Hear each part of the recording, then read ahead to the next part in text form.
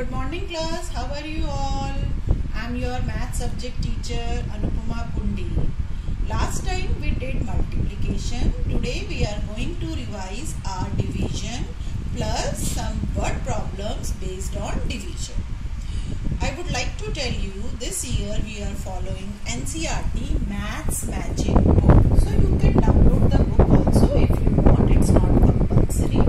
And the chapter which I am taking it is chapter 11 tables and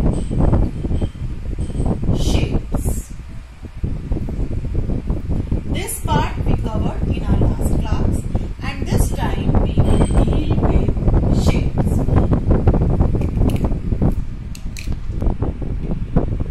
Today first we will discuss the relation in the word share and division. What is the relation between these two?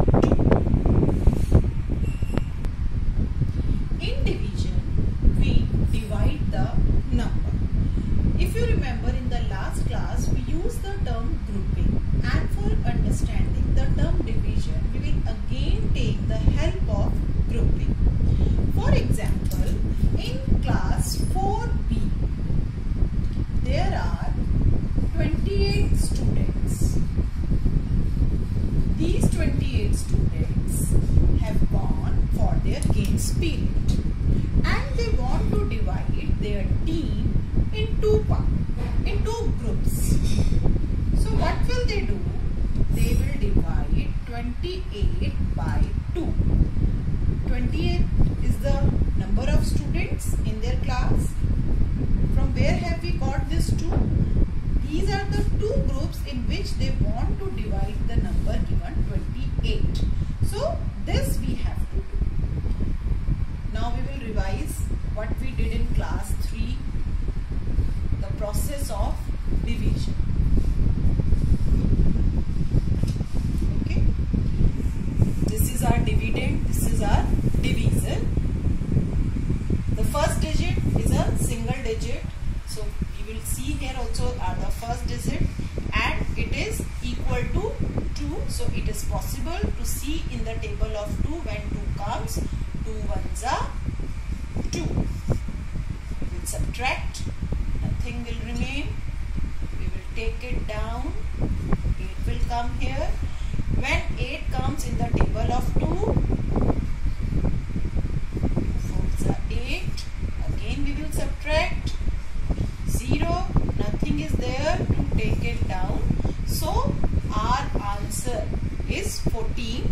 It means if we divide 28 children in two groups, we will get 14 in each group.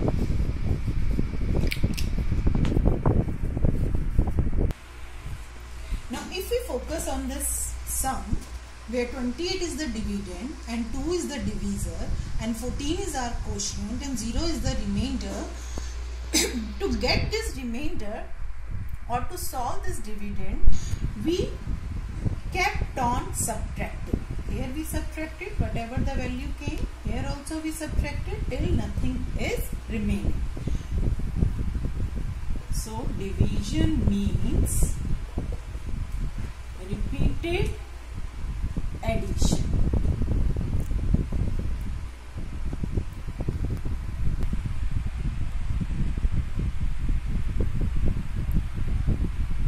So division means repeated subtraction and we have to subtract till our remainder is 0 or smaller than the number of our divisor.